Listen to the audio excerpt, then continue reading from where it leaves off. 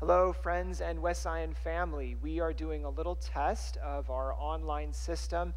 Our plan during this coronavirus epidemic, such strange times that we live in, is to have an online worship service at the usual time, 10:30 on Sunday morning.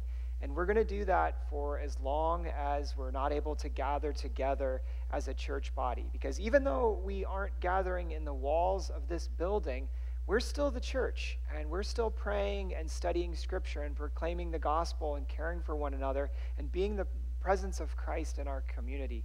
We'll also have a Sunday school class for adults, and you can find more information on that later today, Thursday, um, on our website in the bulletin.